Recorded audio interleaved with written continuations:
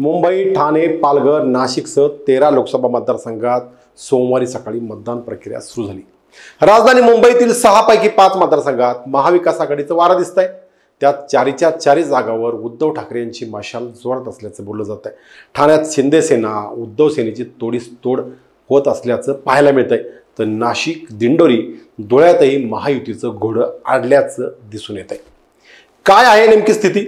यावर टाकूया ओझरती नजर. नमस्कार मी नितीन शिंदे बोलबिंदासमध्ये आपल्या सगळ्यांचं स्वागत करतो. आज सकाळी सात वाजता मतदानाला सुरुवात झाली. सकाळी बऱ्यापैकी असलेला मतदानाचा वेग दुपारी थोडासा मंदावला. आता मतटक्का कसा राहणार यावर बरंच काही अवलंबून असेल.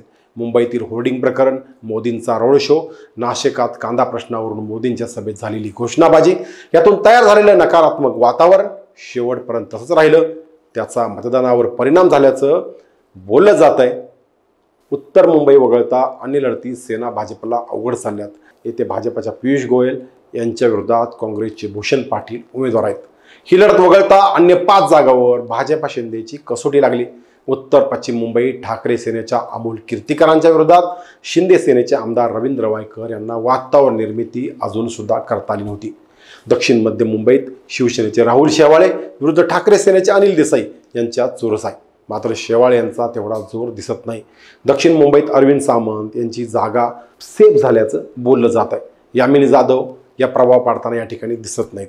ईशान्य मुंबईत मराठी गुजरातीवाद घाटकोपरातील होर्डिंग दुर्घटना याच भागातील मोदींचा रोड शो याने वातावरण पारटल्याचं चित्र आहे.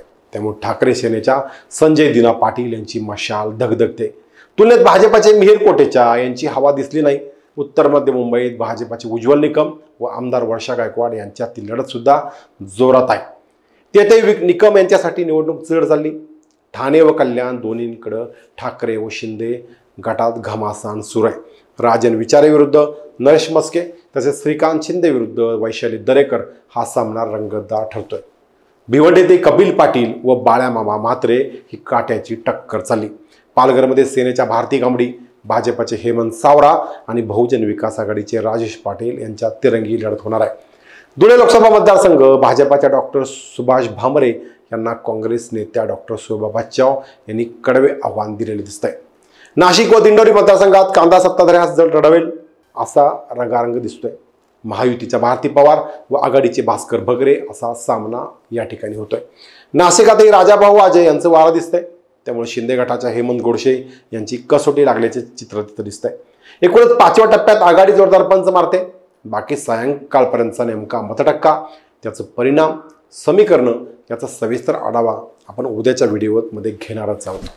तोपर्यंत आमचा हा व्हिडिओ आपल्याला कसा वाटला? आपण लाईक कमेंट करून आम्हाला नक्की सांगा आणि अजूनही आमचा चॅनल सबस्क्राईब केला नसेल तर तो आत्ताच करा. धन्यवाद. जय महाराष्ट्र.